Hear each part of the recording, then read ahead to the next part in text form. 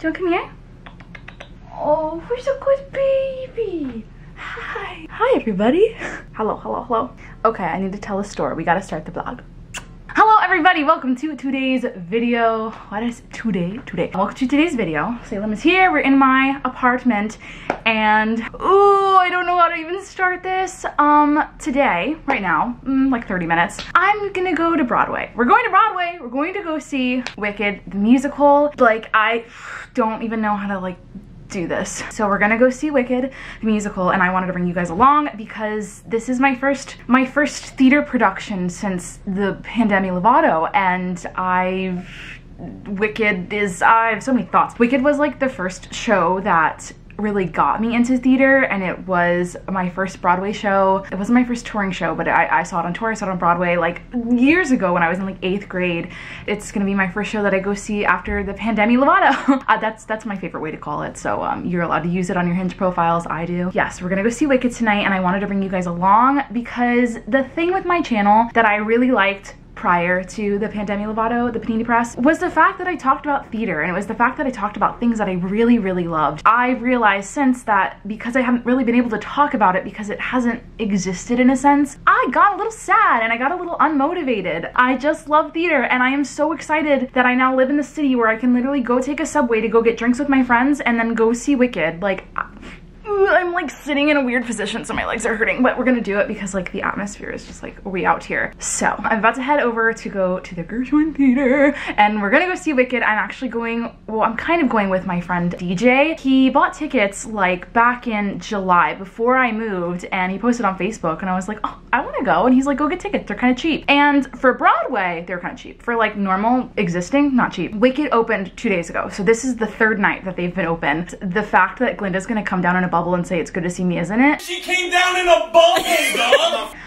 I'm gonna break down. So I didn't wear false eyelashes because I knew this was going to happen. So I'm gonna go meet up with DJ and his friend um, that is visiting New York. So we're gonna go meet up, go grab drinks, and then we're gonna go see Wicked. And I wanted to bring you guys along. Obviously I can't like show you what happens in the theater, but I just wanted to do like a little cute little vlog thing where you see my apartment, you, you see my face because it's it's been a while. I'm sorry, we're, we're back, we're being consistent. I hope you guys liked the new, I see, hope you guys liked the new intro. I was very proud of that. So let me show you the outfit. So to start out, we'll do a little bit of makeup look. I have this like, it's technically like a turquoisey blue almost eyeshadow. Actually, it was from when I worked at Disney and I mixed it with a yellow eyeshadow from when I worked at Disney because they're really great colors. They're very pigmented, but I didn't have a green. So I mixed them to have a little little green look with like kind of like a nude lip. Um, I got my little crystal earrings because obviously it's a show about witches. So like we're showing up. I also have this necklace. This is my Addie LaRue necklace. Some bracelets. This is Moonstone. I don't know what this is. And the dress. So,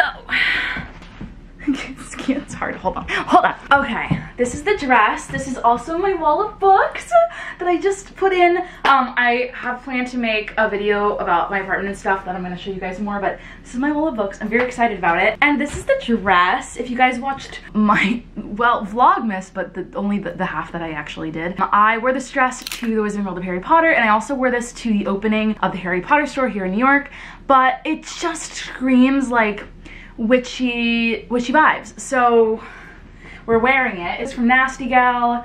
I'm just obsessed with it. It's just so cute and I think it's perfect. And then a little shoe action. There we are. So I'm actually gonna grab, I'm out of breath.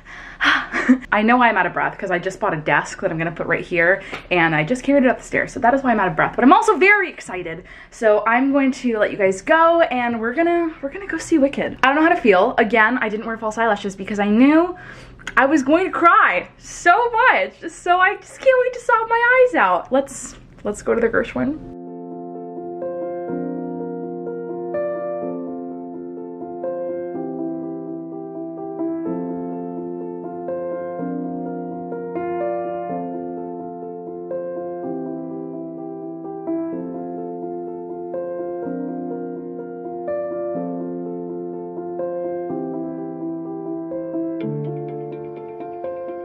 almost 100% positive that I just saw Jessica Vosk on the street. I didn't know if it was her, so I didn't want to say anything.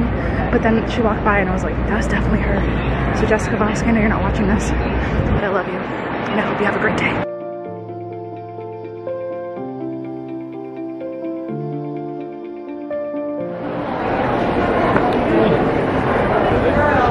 Do you want to say hi? Hey. You don't have to say hi if you don't want to. Okay. Hi!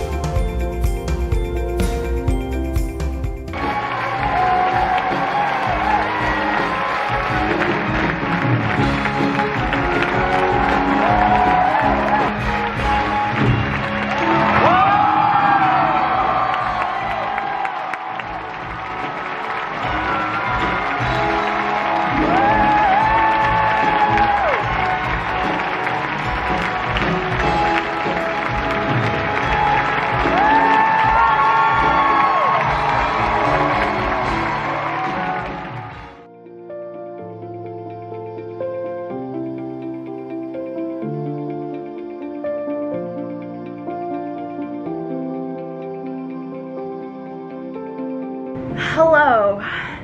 In the words of TikTok, I am not doing well. Hi guys, I am back at my apartment. It's 10:45. Salem, I don't know why you keep yelling at me. I fed you earlier. Excuse me. Hi. Um, I wanted to just come on here and talk about the experience. Do you want to also talk? You didn't go. You don't have anything to tell them. Um, Wow. So I wanted to come on here and talk about everything um, while it's still fresh because I want to edit this vlog. Here's how it went. I went out to go get drinks with my friend DJ and his friend. It was really fun. We got like Wicked Appletinis. It was like this green drink right across the street from the theater. So they have like Wicked inspired stuff. So I was like, oh fun, I'll just get one of these because it's themed. It was so good. It was delicious and very, very strong. Got a little Wicked Appletini and then the friend of my friend knew one of the bartenders. So we got free shots of the Wicked Appletini. And when I walked into the Gershwin, I was a little little tipsy. I was like, wow, that's those are stairs. Went in, they looked at our um, COVID vaccination cards, or if you had taken a test prior, you could also show that. Then I showed my ticket, and then uh, I went to the restroom, and then I went to the theater, and then I cried a lot. So I want to talk about this, and I, mm, I feel like I'm gonna get emotional again about it, and I don't know why. So I cried. I cried I cried a lot. Cried a lot. Let me fix this lighting. It's a little, little harsh. I think that's better. I cried a lot, and it's because I just, I just love theater and like. Oh, here we go. I didn't think I was gonna get emotional, but here we are. I love theater, and Wicked for me was that show that like ridiculous. Um, like in sixth grade, I was in like a course class and the library teacher came in. I like distinctly remember this. She came in and she's like, I'm gonna talk about Wicked the musical. And I had never heard of it and I had never like experienced a musical. And so she played these songs and then I was just obsessed with it. And like, that is what got me into theater. Like, I know it's super cliche, but like Wicked is why I do theater. Um, and I, I got to see it on Broadway when I was like 13 in eighth grade and I had seen it on tour, but getting to go back after, oh my god, it was so dramatic. getting to go back after truly a year that like, I mean, I was a performer and now I feel like it's hard to call myself that, but getting to go back into the theater, oh my god, um, was very reaffirming to the fact that people do this and they're doing it and so can I and that was really good for me. it both felt like therapy and then I left feeling like I needed therapy. but it was just so amazing and the cast was just literally ridiculous. They were just so good. Like everyone was just incredible. The Elphaba, I think it was Lindsay Pearce, was just, oh my god, just incredible. And the Gl Glinda was so funny. Oh my gosh, just absolutely incredible performers. And like, I talk about them because they're the leads, but the last time I saw Wicked was before I went to theater school, was before I kind of, in a sense, devoted my life to this craft and like I feel like I understood the story better, I understood the characters better, and I'm watching the ensemble and all of these scenes, and they're all just incredible people and performers, and I just like Oh, I felt so bad for my neighbors because I was sitting alone because my friends got other tickets before I did and then I like kind of hopped on the train and I was like, I'll just sit by myself, it's fine. The poor people next to me are like, what is wrong with this girl? I'm sitting here like wiping my tears at like dumb scenes. Like, and then like, I, I had been crying already and then For Good happened and I am absolutely drenched in tears. My mask is wet because I'm just crying because it, this is gonna sound so dumb and I'm gonna cry again. For Good to me felt like why am I like this? For Good to Me felt like me, this is gonna sound so ridiculous, me talking to DJ DJ, which is so dumb. Um, but I just, I miss it. DJ DJ for me was the role I played at Disney prior to the pandemic. Represents for me a time where I felt like I was doing it and I was where I was meant to be. And I was watching this song happen and it's two friends singing to each other and I'm taking it completely out of context. And it just felt like me telling my past self like, thank you for the memories, but also like you'll always be here. And like now we can go and do things and we can go do new things. I'm so emotional. I don't even know what's happening. But it was just, it was absolutely incredible. I want to be in that show someday and I don't know who. Probably Nessarose, to be honest. I think that's more of my type. um, because I can't belt like Elphaba and like I want to be Glinda, but like I don't know if I can hit those notes, sis. Um, but yeah, I, I want to be in that show someday and it really, for me, felt like coming home and felt like a reassurance that just because things are hard, it's just because you're in a place where you might not be, you know, fully content. For me, when I left Disney and when I, you know, in a sense left Orlando, I felt like I was kind of taking a step back. Like, yes, I was moving to New York, but I'm taking a step back in my career because I'm doing something else right now, which I still like. It's not performing, and I, I know, you know, it's weird to say after seeing this show, I'm like, what I meant to do it's theater and it's to perform and it's to give people what what they gave me tonight, what the cast was able to give me and I'm just so honored that I was able to go. I bought these tickets in like July and I had no idea of that I'd be sobbing now. Yeah, it was great. It was really great. We left the theater and got to see um, my friend's friend, his friend, was one of the ensemble members who understudies Madame Morrible and we got to, like it was her birthday actually, so we said hi. And then we actually passed the actress who played Glinda who was so talented. Oh my gosh, she was so funny and she happened to be at a TV show with my friend and they like connected and I was like, what in the, what? What is this? And then on the way to the theater, I literally saw Jessica Vosk. I literally saw her, but she like, she had her headphones in and she was across the street and we like kind of two ships in the night.